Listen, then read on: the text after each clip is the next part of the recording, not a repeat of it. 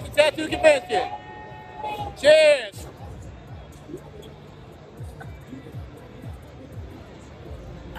Oh boy, oh boy. Let's start the show. What up guys, welcome back to the channel. If you haven't done so, make sure you like, subscribe, and hit the notification button so you never miss an episode.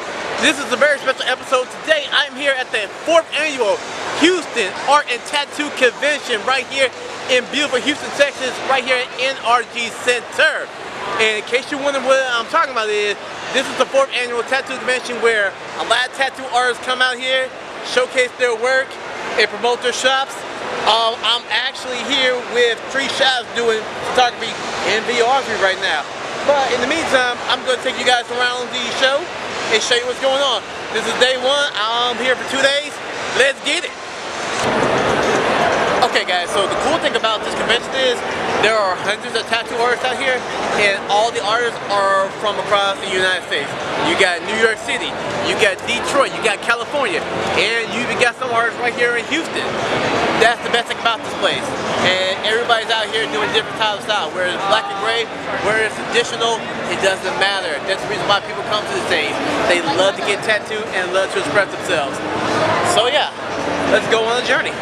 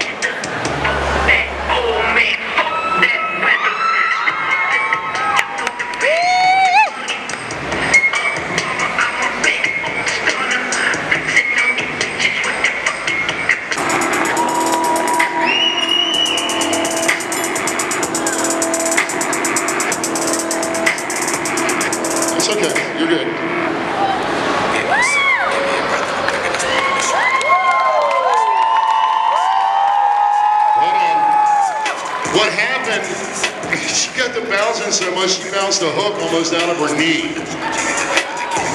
Nuts, girl.